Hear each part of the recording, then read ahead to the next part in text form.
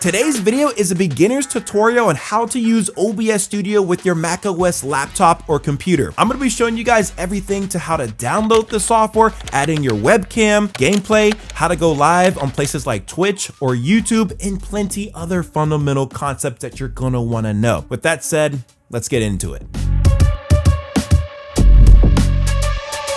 Alrighty guys, so to get this started, you're first want to head over to obsproject.com and you're to see the option to download this software for Windows, Mac, or Linux. In our case for this video, we're going to be downloading this for a Mac OS computer, and then we're going to be going with the Apple Silicon option because I am using an M1 Max MacBook Pro computer. Now, in order to install OBS Studio onto our Mac computer, all we're going to need to do is launch the .dmg file that we just downloaded to our computer, and then drag the OBS app into your applications folder, and it's downloaded, just like that. But when you go to launch OBS Studio, you're gonna get a pop-up saying, hey, this is from the internet. Do you trust this? Of course you trust this, but you're also going to need to allow its extensions to work on your computer. So make sure you open your security settings and then just allow, and that will give OBS full functionality on your Mac computer.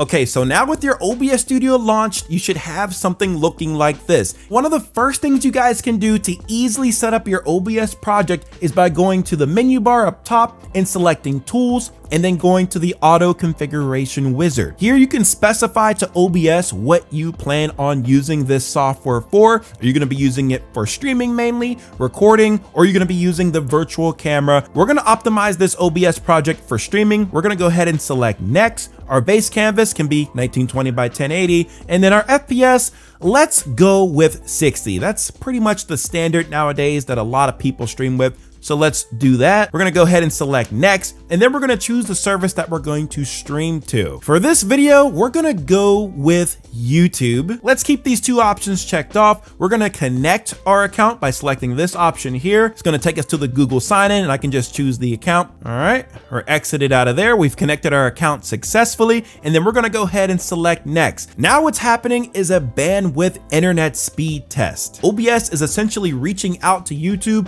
and testing my internet connection to see what type of settings I could run if I streamed live on YouTube. We got the results in, and my connection and computer setup is good enough to stream at a 10,000 bit rate using the Apple hardware encoder and then streaming at a 1080p 60f quality, which we can tweak by the way, but for now, let's apply those settings. When I do that, the YouTube chat is gonna appear. If you wanna keep that, I don't wanna keep it right now, so I'm just gonna remove these docks for now. But keep in mind, guys, if you ever want those docks to reappear, just go overhead to your docks and then you can easily bring those back on in your OBS project. Now guys, even though OBS Studio just set my settings for me, it's still good to understand how the settings work so that you can make adjustments if you need to. So what we can do here is go over to the right hand side, go over to settings, and then we're gonna go to the output option, and this is where you're gonna access those settings that OBS applied. You're gonna see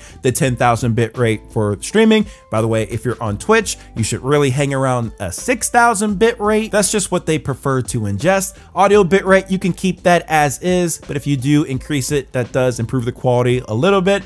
Video encoder, this is where I have the hardware encoder, but for some of you guys that might not have an M1, M2, M3 silicon based chip, you may even have an Intel machine, but it has dedicated graphics, still use the hardware encoder in this case. But some of you guys out there might just have the Intel chip by itself, so you don't have a dedicated graphics card along with your Mac computer. So in that case, you're probably going to be using the X264 option. If at all possible and your computer can handle it, just keep the encoder preset as is. That's the default and you really don't want to mess with the other options here because if you do, you're going to either have blurry or choppy looking gameplay. We all been there and I don't want you to be there. From here, you can scroll down to your recording settings. You can set your recording path on your computer for where you want your OBS recordings to save. Recording quality, you can keep that same as stream.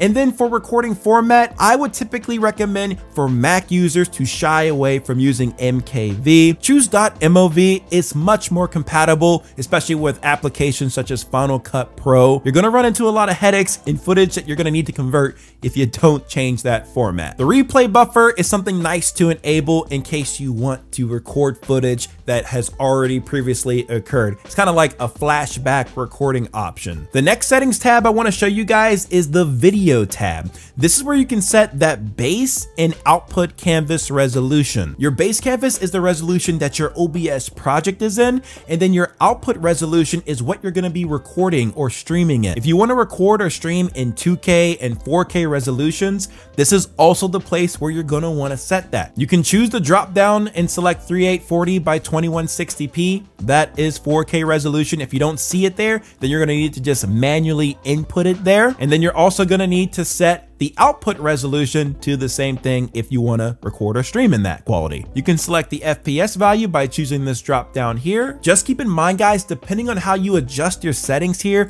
you're going to want to tweak your bit rate. So that means you're going to need to go back to output and change your bitrate right here for your stream. And I've created this handy little chart that you guys can follow for what your bitrate should be set to depending on the resolution and FPS that you're streaming in. So you guys can follow this by looking at the left side first for the resolution you're gonna be streaming in and then choosing your FPS value, whether that be 30 or 60 typically, and then going down to that bit rate range. So if I'm streaming in 1080p 60, for example, I can do a bit rate of 4,500 to 8,000 or more to push that type of stream. Now, if I wanted to stick with going with a 4K 60 FPS stream, then I'm gonna wanna set a bit rate of 20,000 to 50,000 or more. Now, YouTube will only accept up to 51,000, but that's the idea. Take that number and you put it here. You don't want to have a bitrate that's set too low because your video quality is just to look very blurry, blotchy, and just poor. I'm good with these settings for now.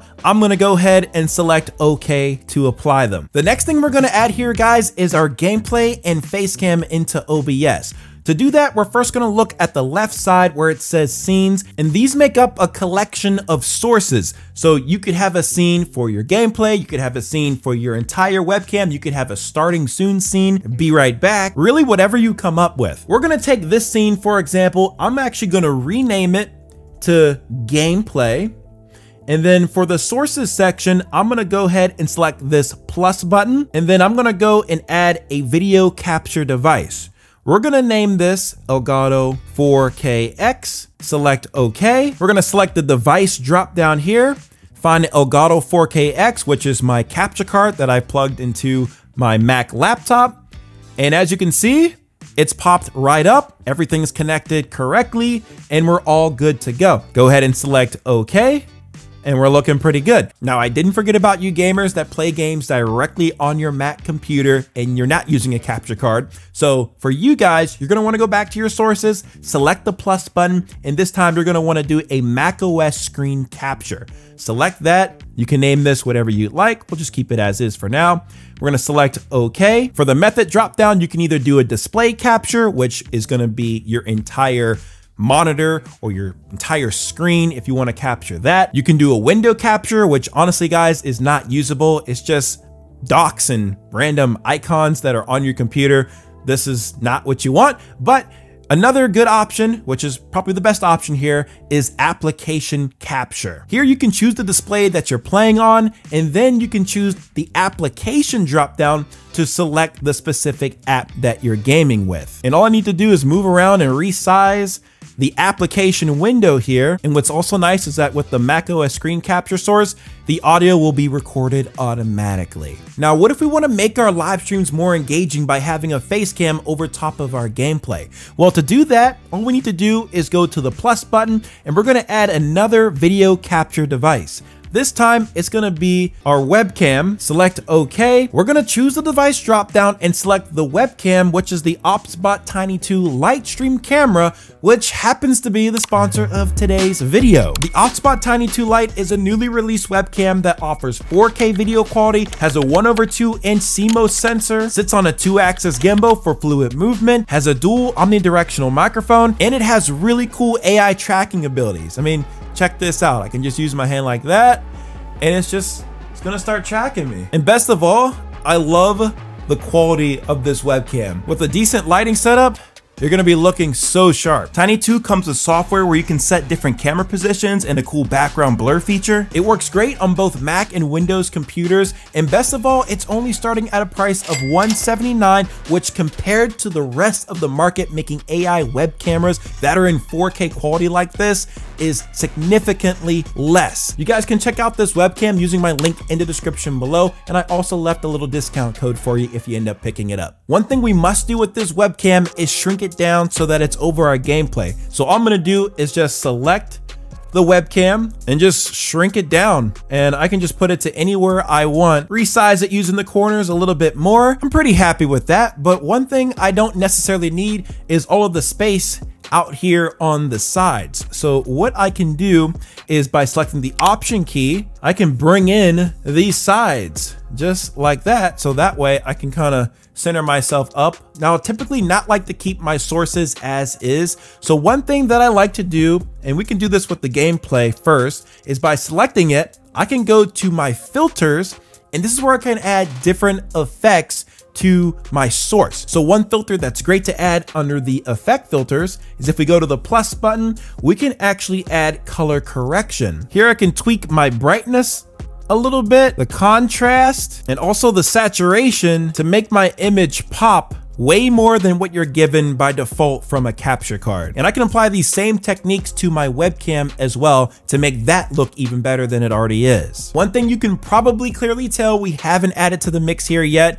is our audio. This audio mixer for us is just completely bare and empty. So let's start off with one of the essential audio components of any stream setup, that being a microphone. You probably have one via USB plugged in your computer, or if you don't have one, you could always use the microphone that's on your Mac computer. But to add that microphone, you're gonna wanna go to your settings, go to audio, and then from here, you're gonna wanna go to one of your mic auxiliary devices, select that drop down, and then choose your microphone. In my case, I'm using the Elgato Wave 3 right now, so I, I can go ahead and select that. Okay, you're gonna see the microphone audio added directly into my audio mixer here, and I'm not gonna want this to peak too much, you know, maybe to the upper yellow area here, that's pretty good. Now, how about the gameplay audio? Well, on Mac, it doesn't automatically come with the video capture device source. So you're gonna need to go and add a new audio source, which is gonna be an audio input capture source.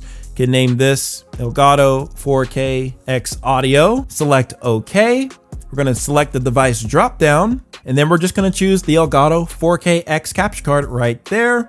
No other settings need to be changed, select OK, and as you can see, that audio is coming through now. I'm gonna lower this a little bit less than the microphone audio so that my voice will always shine through more than the gameplay. You don't want the gameplay sound fighting your voice because then no one can hear what you're saying. But now, what if you want to capture audio from applications such as Spotify or Discord without having to capture them to get the audio? Well, all you need to do is go back to your sources, select the plus button, and you're going to want to add a macOS audio capture source. Let's go ahead and name this one Spotify, select OK, and then for the method, we're just going to want to select the drop down and choose application audio capture.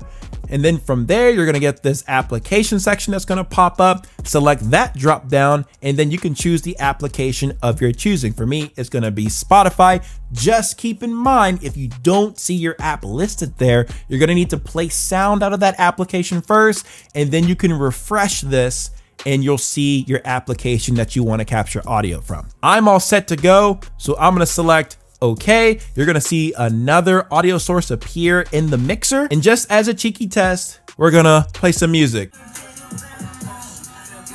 And you can see it's coming through super loud, so we don't want it to be too loud, but it's working. And one thing to note for the Elgato capture card audio source, since I am sending that audio over HDMI from the PlayStation 5, I need to be able to hear that gameplay from the computer. So what I'm gonna do with this source is go to this three dotted icon, I'm gonna go to my advanced audio properties. And from here, I'm gonna look for the audio source of the Elgato 4KX. That's right here.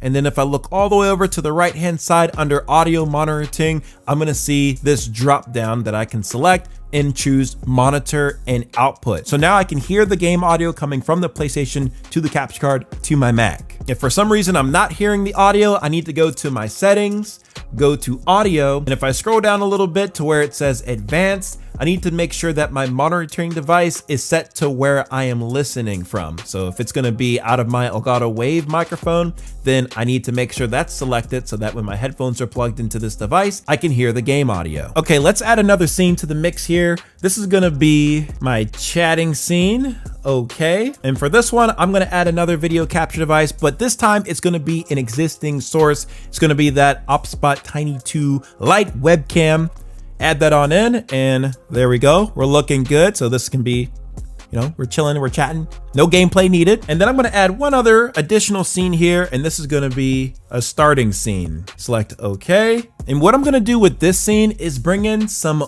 overlays I actually downloaded some here from Own3d. So if you are looking for overlays, I have an affiliate link that you guys can check out. But I'm to throw some of them in here just so you can get a feel for what they look like. This one here it's gonna be my starting scene. So throw that bad boy on in. This is what it looks like. And the important thing that I'm gonna need to do so that this doesn't go black at the very end, which it just did, is I'm gonna go into this source and I wanna make sure that we're looping this source. Also don't wanna show nothing when the playback ends. We want this thing to fully loop so we have no black screens. For my gameplay scene, I'm actually gonna bring in a face cam, which is, this is my, my actual primary face cam that I use for any streams that I do do, do do, do. And uh, I actually had this one custom made uh, off of Fiverr. I'm just gonna readjust my webcam so that it fits the way that we want in the face cam border here. Just do a little bit of that. I'm just clicking the option key here and dragging stuff on in and that looks very good. Gonna hide that since there's no audio coming from that face cam source, just to keep things clean. The other overlays that are a must-have part of your stream are alerts, and then in some cases, a chat widget. Now there are a couple different options out there that you guys can use for these types of features. One of them is Streamlabs, which I've used a ton in the past. It's super easy to use, but for this tutorial, I'm gonna be showing you guys a new one well, not necessarily new, but that is Stream Elements. You guys can log into this dashboard using the account you plan on live streaming to, just like Streamlabs. And once you're in, you can go over to the left-hand side, select the Streaming Tools option, go to Overlays, and then from here, you're gonna wanna create a new overlay. So select that button. You can choose the resolution of your stream. We're gonna go with 1080p and then just select start. Now I'm gonna go ahead and give this overlay a name and we're gonna add some widgets to this canvas. So all we need to do is go to the plus button down here and then we can just go ahead to alerts, go to alert box, and that will bring up the source where our alerts will funnel through. Now this is pretty big right now, so I'm gonna take the corners, just drag it on in just a little bit there. Now, if I wanna adjust the settings for each and every type of alert that might come through, I can do that right over here on the left-hand side with the alert box layer selected. So for example, I can go to the subscriber alert settings so I can change what the animation or the icon that's gonna appear. You can get GIF animations off of places like Giphy, for example. I've done that myself. Let's give it a little test real quick by going to emulate, subscriber event.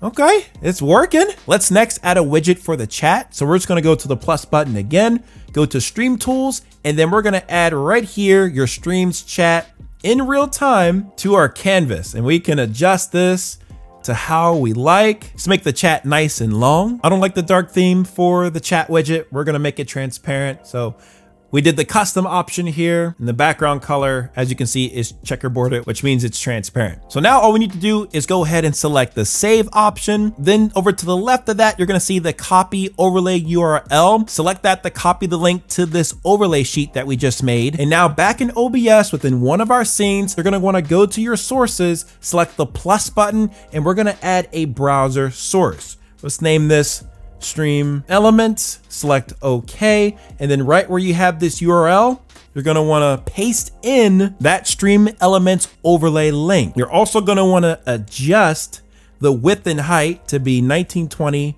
by 1080 because that's what we set our stream elements canvas to be. Go ahead and select OK. Now that we have all of our scenes set up the way that we want them to be, you know, it can be a little bit tedious to click each and every scene one at a time. So one thing we can do is go to our settings, then go to hotkeys, and this is where we can set different shortcuts that we can just select on our keyboard to perform certain actions right within OBS Studio. So just by typing in scene, I can find a keybind option that I can set for switching to the chatting scene. So just for the example, we'll do X. And then for gameplay, we can do C. And now if we select OK, and I select X, and now I select C, I can easily switch back and forth without having to move my mouse to switch back to the gameplay scene. Now, my recommendation, if you are gonna be streaming for the long term, definitely invest in an Elgato Stream Deck